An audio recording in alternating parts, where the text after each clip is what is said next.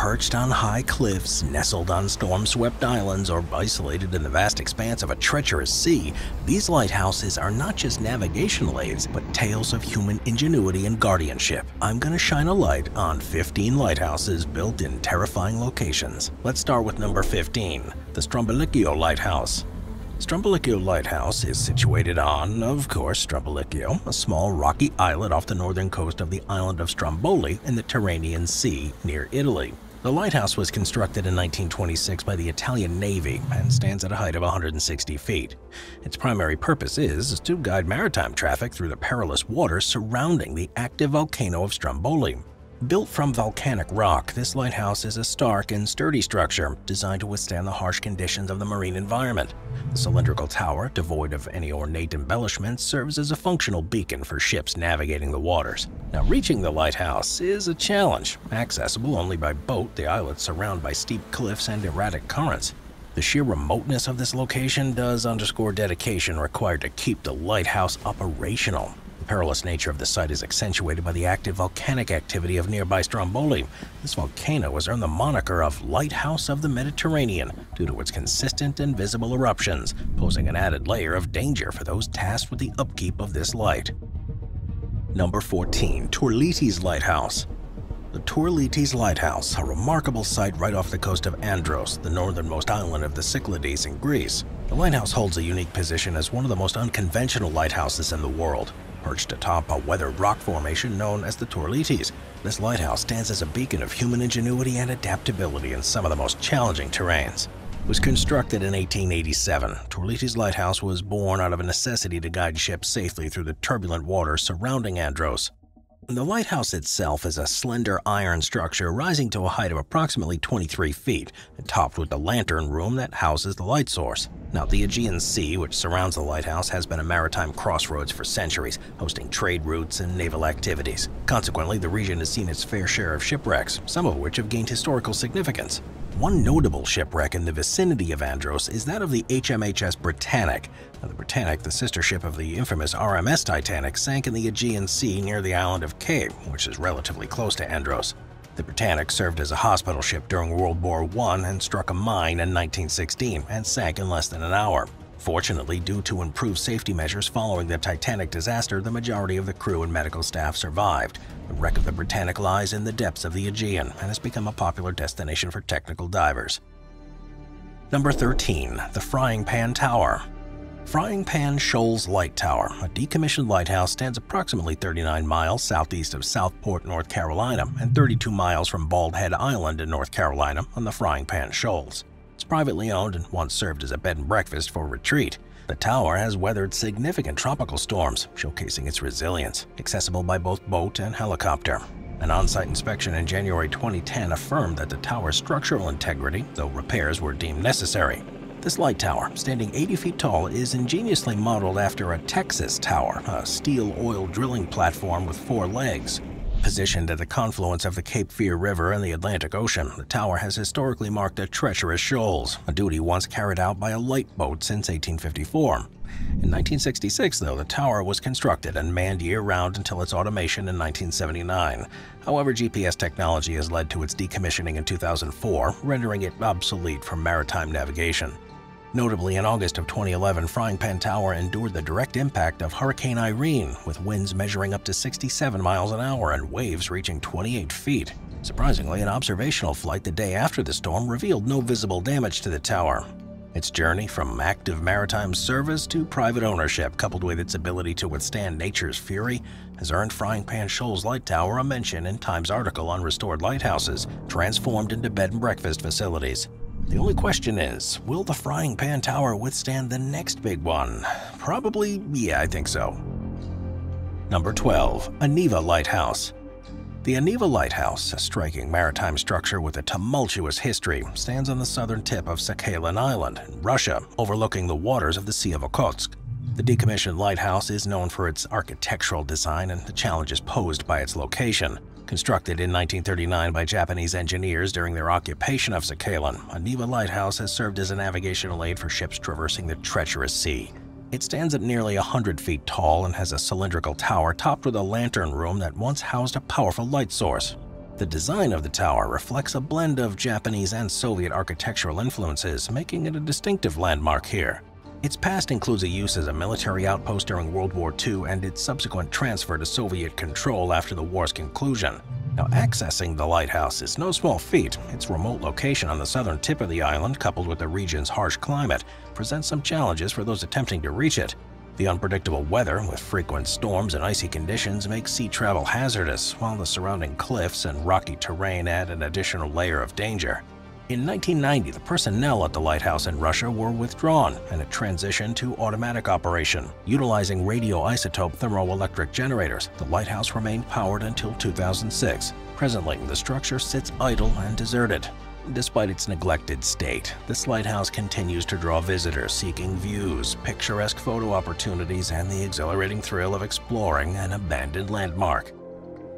Number 11. The Nottawasaga Island Lighthouse This lighthouse, standing at a height of 85 feet, was constructed in a conical shape with an interior column consistently measuring 10 feet in diameter, despite the exterior tapering. Crafted from locally quarried limestone, the structure featured varying wall thickness ranging from 9 feet at the base to a slender 2 feet at the top. Two layers filled with loose stone cemented the inner and outer sections. Now, at the pinnacle of this tower, a granite section was added for additional stability, supporting the lantern rooms. This design's departure from the era's typical materials brick, iron, wood, concrete made the lighthouse unique. The lanterns themselves were fashioned from copper alloys, glass, and cast iron, contributing to its distinctive appearance.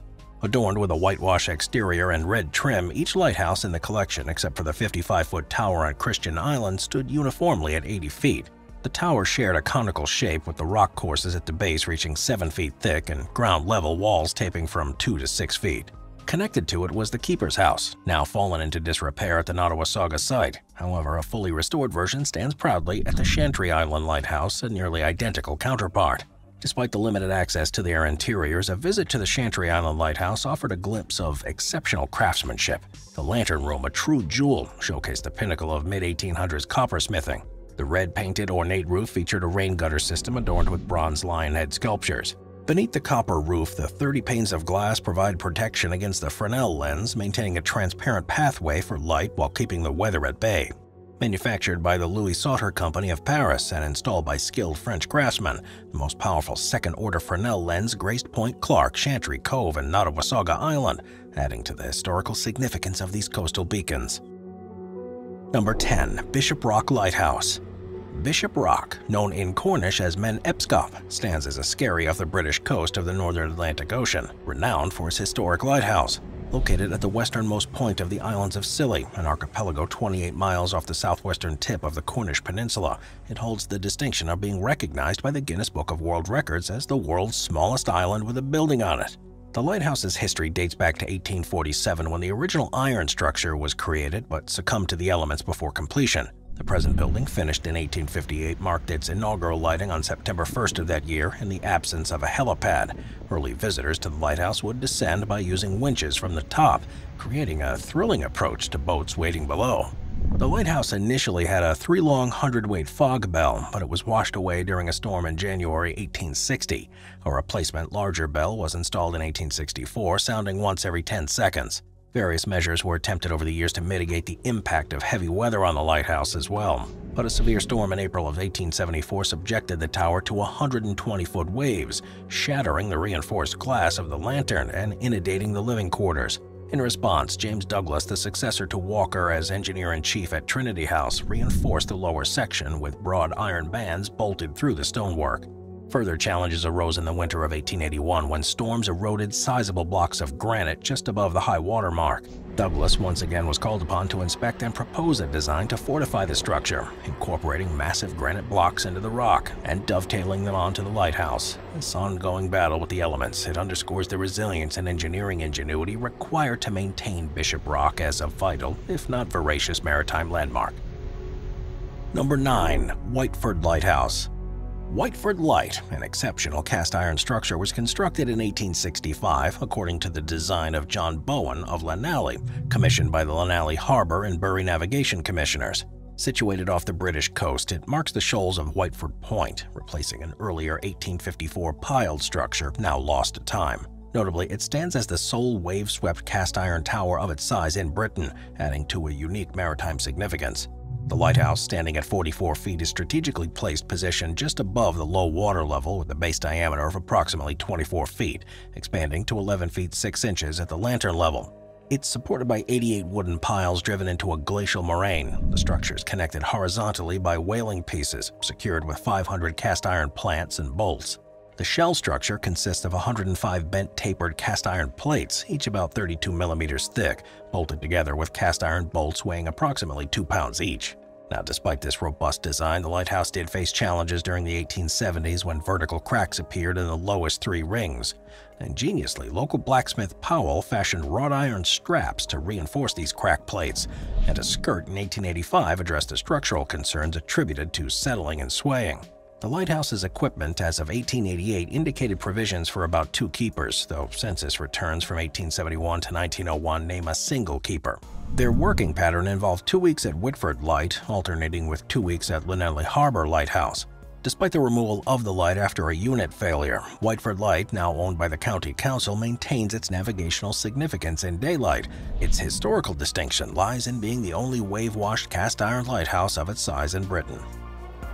Number 8. The Boone Island Lighthouse Boone Island Light, situated on the 300 by 700 foot Boone Island off the southern coast of Maine, stands as the tallest lighthouse in both Maine and New England, reaching an impressive height of 133 feet. Located near Cape Neddick, the lighthouse's focal plane sits 137 feet above mean high water level, with its distinctive beacon flashing white every 5 seconds. It's accessible only by boat or aircraft. Boone Island Light is not open to the public. Its history of a lighthouse on Boone Island traces back to 1710, when the ship Nottingham Galley ran aground on this desolate island, leading to a harrowing tale of cannibalism among the stranded crew before their rescue. Their first attempts at establishing a light station in 1799 were met with challenges, as a wooden tower was washed away within five years and replaced by a stone day beacon. Subsequent efforts in 1811 saw the construction of a granite tower, but succumbed to a storm in 1832. The present-day cylindrical brown granite tower, standing at 133 feet, was erected in 1855 and originally featured a second-order Fresnel lens, making it the tallest lighthouse in New England at the time. Though not in terms of elevation above sea level, a new keeper's dwelling accompanied this construction. Boone Island Light faced significant damage during a 1978 blizzard, resulting in the loss of the tower stones and all accompanying structures. Consequently, the station transitioned to automation in 1980 with a solar-powered beacon installed by the U.S. Coast Guard. The Coast Guard retains control of the active station, while the lighthouse itself is leased to the American Lighthouse Foundation. Its historical significance led to its inclusion on the National Register of Historic Places as Boone Island Light Station in 1988. Steeped in isolation and danger, Boone Island Light has weathered some storms that once marooned keepers here for weeks. The lighthouse's resilience is exemplified in an anecdote where on the brink of starvation, keepers signaled a passing schooner for help. The crew, responding to their plea, delivered food in a mackerel barrel, ensuring the keepers' survival until they could obtain supplies from the village of York. Moving on to number 7, the Execution Rocks Lighthouse.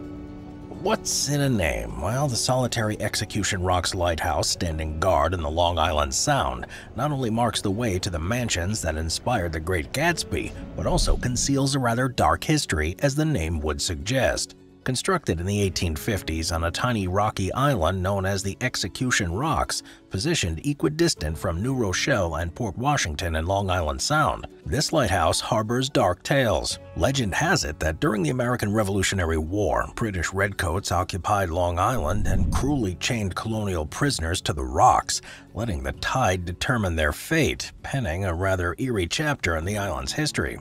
In the 1920s, the island's gaslight era narrative took a modern turn when notorious criminal Carl Panzram admitted to luring sailors away from bars and leaving them to their fate on execution rocks. Even after the lighthouse transitioned to full automation in the 1970s, visitors reported haunting experiences, including unusual sounds, apparitions, and ghostly footsteps, a chilling testament to the island's troubled past. While the last lighthouse keeper retired in the 1970s, tours are now available in the summer through the Lighthouse Restorations Organization. Water taxis departing from Port Washington provide an opportunity to cruise near the island, offering glimpses of the opulent Gold Coast mansions that served as inspiration for Gatsby's house house in F. Scott Fitzgerald, The Great Gatsby.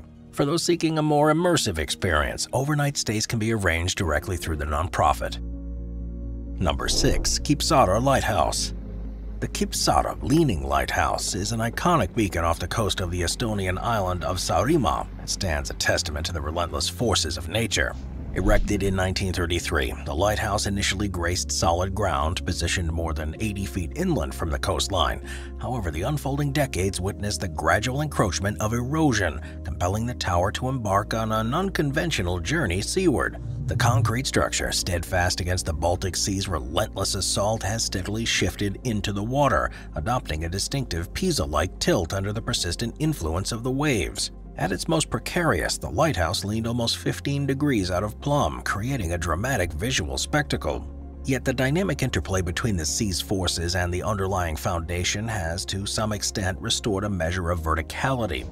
Nevertheless, from a certain vantage point, the lingering impression remains, a precarious equilibrium on the verge of toppling. Standing tall at 82 feet, the Kiipsaare Leaning Lighthouse carries a rich maritime history that predates its construction. Since 1879, a station has occupied this spot, serving as a guiding light for ships navigating the perilous shores of Estonia.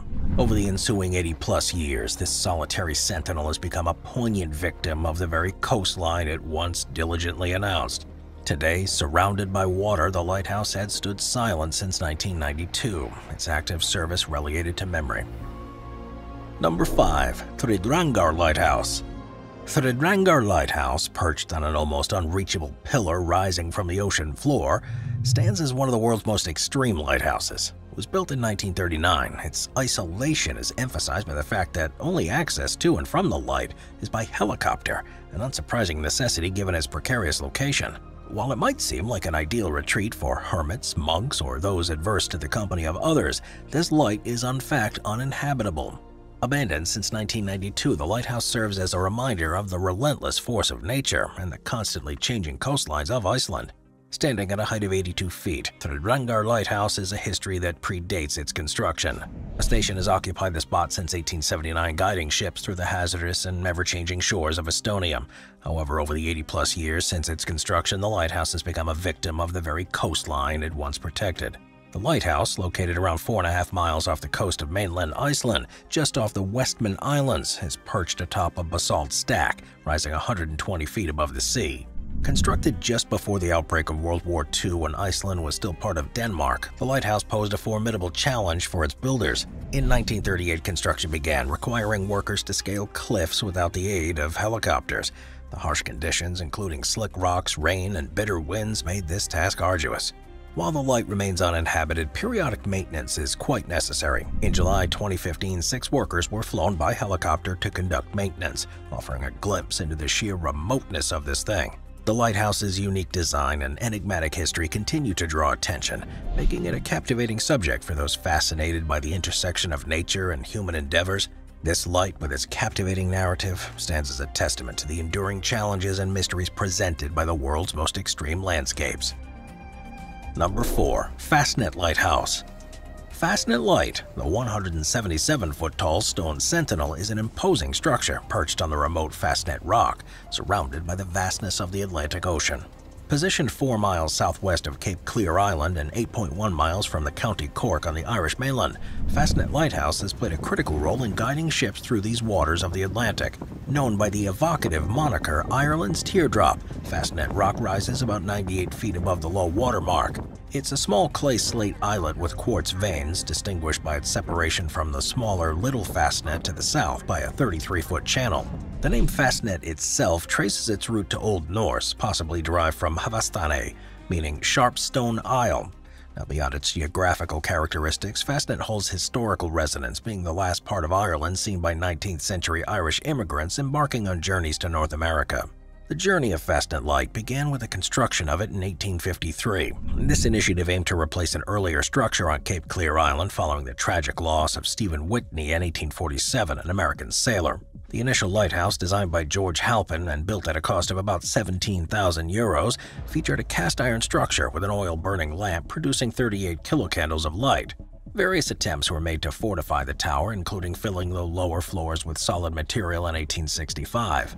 Recognizing the need for a more robust structure, the commissioners of Irish Lights decided to construct a replacement in 1891. Stone was chosen over cast iron, giving the latter's perceived inadequacy, especially after the nearby Calf Tower suffered damage in a storm in 1881. The task of designing the new light fell to William Douglas, James Kavanagh supervising. This ambitious project involved using over 2,000 dovetailed blocks of Cornish granite, totaling over 4,400 tons, to create a tower that would withstand the harsh maritime conditions. The fog signal, initially explosive, evolved into an electric foghorn in 1974. The original vaporized paraffin light transitioned into an electric one on May 10, 1969. In March of 1989, the lighthouse embraced automation, monitored and controlled through a UHF telemetry link to Mizen Head Lighthouse in County Cork. The light now produces a 0.14 second white flash every 5 seconds, with a range of about 27 nautical miles and a power of about 2,500 kilocandles. In 1985, a colossal rogue wave measuring 157 feet high struck the lighthouse. This incident highlighted the extreme conditions that this structure endured in its maritime perch. Additionally, on October 16, 2017, during Hurricane Ophelia, a wind gust of 119 miles an hour was recorded at the light, setting an Irish record. Number 3. Sambro Island Lighthouse the Sambro Island Lighthouse, positioned at the entrance to Halifax Harbor in Nova Scotia, stands as a testament to maritime history, facing challenges of treacherous waters and witnessing significant events over the centuries. Constructed during the Seven Years' War, the Sambro Lighthouse is the oldest surviving lighthouse in North America, with its building marked as a National Historic Place. In 1758, Nova Scotia's House of Assembly passed its first act, levying taxes on incoming vessels and alcohol imports to fund the lighthouse, emphasizing its importance. Its surroundings have earned a notorious reputation for shipwrecks, owing to a plethora of rocks and shoals. During the American Revolution, the Battle off Halifax in 1780 saw a fierce engagement between the British privateer brig Resolution and the American privateer ship Viper near the Sambro Light, leaving a significant toll on both sides. Sambro Island, a granite island surrounded by dangerous shoals, hosts not only the 18th century stone tower of the lighthouse, but also structures like the gas house and a foghorn shed. Ruins from the 1960s, including abandoned keepers' houses and cannons used as fog signals, add to the historical landscape here. While regular tours are discouraged, initiatives like the annual open house tours organized by the Nova Scotia Lighthouse Preservation Society and the community of Sambro offers glimpses into the island's past and its role in maritime history.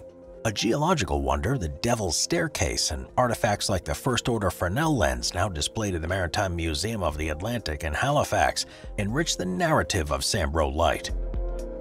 Number 2. Tévennec Lighthouse Tévennec Lighthouse, situated on the western edge of Brittany near the Pont du Vent, holds a significant place in maritime history, especially in securing the perilous passage of Raz de Sein, the lighthouse, automated in 1910, has played a critical role alongside Le Viel in navigating the treacherous waters of the Raz de Sein. This strategic location, a hazardous area with islands, shoals, and rocks, underscores the importance of this light in aiding navigation here. It was designated a historic monument on December 31, 2015. It's got a historical legacy linked to the hazards of this place. The construction of the Armen Lighthouse, west of the Chaussée de Sein, started in 1867, emphasizing the efforts to enhance navigation in the region. The lighthouse, activated in 1875, stands as an early example of a sector light, employing distinctive characteristics such as red and white signals or varying flashing rates. Beyond its functional significance, this lighthouse is surrounded by legends, contributing to its mystique. It's considered one of the most peculiar sites in lighthouse history.